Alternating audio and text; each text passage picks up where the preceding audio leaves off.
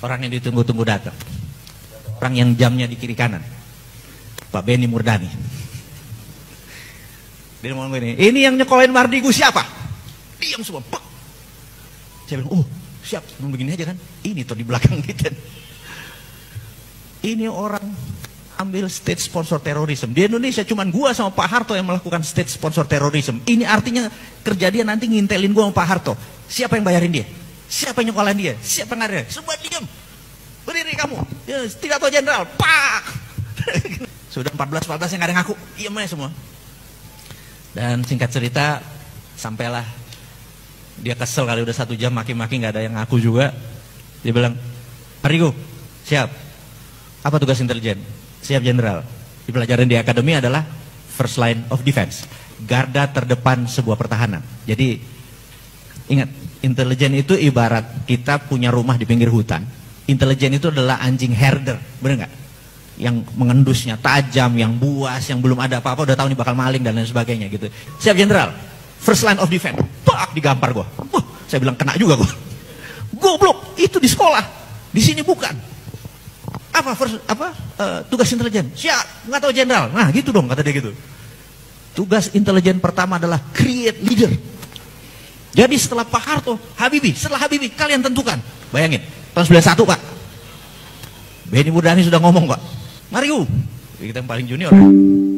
Apa tugas intelijen berikutnya? Siap, tidak tahu jenderal. Pak, gitu langsung. Tugas berikutnya adalah no surprises. Jadi nggak boleh ada keterkejutan.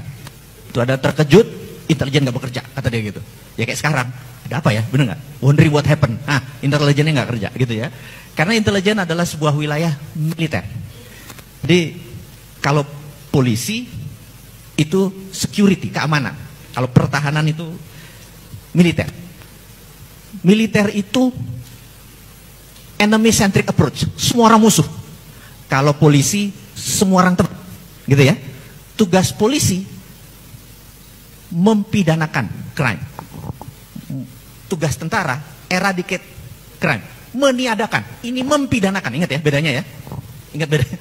Di sini orang lihat sedikit kita ambil, benar nggak? Kalau di sini harus ada dua alat bukti. Ini setengah, nggak ada alat bukti kita ambil gitu. Itu bedanya. Anda ngerti? Jadi militer tugasnya adalah uh, uh, eradicate atau meniadakan ancaman. Tugasnya polisi adalah mempidanakan ancaman. Jadi intelijen adalah wilayah first line of defense, garda terdepan. Begitu polisi menjadi ketua badan intelijen, kita tepuk jidat, Pak. Mulai paham? Ya udah ngurusinnya partai doang gitu ya. Maaf ya bukan kampanye nih. Ada dua makhluk saya ini, kalau hari Rebu saya adalah pegawai negeri, tetapi saya sudah mengundurkan diri karena kayaknya saya beda pendapat dengan apa yang negara pemerintah saat ini lakukan. Jadi, saya mau menceritakan sedikit sebelum kita masuk ke topik bahas utama adalah pentingnya untuk memahami geopolitik dan geostrategi. Saya belajar enam tahun oleh negara untuk mempelajari ilmu beginian. Terus sampai sekarang asal mengajar di lembaga dari tahun 98 sampai sekarang empat tahun terakhir dengan Pak Ria Mizar Ria Kudus sebagai uh, staf khusus Menteri Pertahanan dan saya mengundurkan diri di semuanya karena saya merasa ada yang nggak pas. Kita tahu pemerintah sekarang sangat suka membangun infrastruktur, setuju? Tidak salah membangunnya. Yang saya nggak suka adalah hutangnya, benar nggak? Di mana kita di Kementerian Pertahanan? Dulu, sekali lagi saya bukan sekarang, jadi saya bilang itu udah masa lalu saya. Kita panggil tiga departemen, BUMN karena dia akan membangun, kemudian Menteri PUPR, kemudian Menteri uh, Perhubungan. Karena jalan kalau udah jadi yang ngelola Menteri Perhubungan, gitu kan? Sewaktu kita panggil kita tanya, Bapak membangun jalan dari ujung Lampung sampai Aceh, saya angkat topi, betul ya? Yang saya mau tanya adalah, ada nggak jalan yang 3 km lurus? mereka bertiga, pejabat ini bingung. Untuk apa Pak? Saya tanya, Anda pernah ikut Lemhanas nggak? Mereka diem. Ya untuk apa? Kalau kita perang sama Malaysia atau Singapura, kapal perang kita bisa landing di mana pesawat kita, bener nggak? Oh itu tau gunanya. Dan kita nggak minta biaya. Atau kalau di Kuala Namu, di Medan, ada kapal kecelakaan di landasan, ada tujuh pesawat harusnya schedule udah landing, karena ada kecelakaan lagi diberesin, kapal itu muter-muter di Kuala Namu, satu jam kemudian bahan bakarnya habis. Di mana bisa dimendaratkan? Oh, enggak tahu pak. Kamu gila kali yang ngelola negara, memang kayak bikin wali kota, saya bilang kayak gitu. Terus saya lihat Departemen Perhubungan, saya bilang, Anda membangun 15 pelabuhan di perbatasan luar Indonesia, saya angkat topi.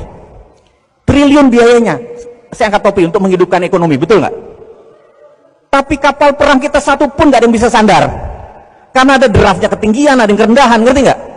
Kami nggak bisa bela negara, jadi waktu kemarin Raja Ampat ada kapal yang nyangkut, kita nggak bisa protek, karena Anda tidak ngerti bela negara.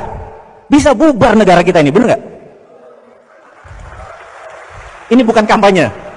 Nah, ini hanya menceritakan bahwa ngelola negara itu modalnya bukan dengan belusukan doang. Nggak bisa.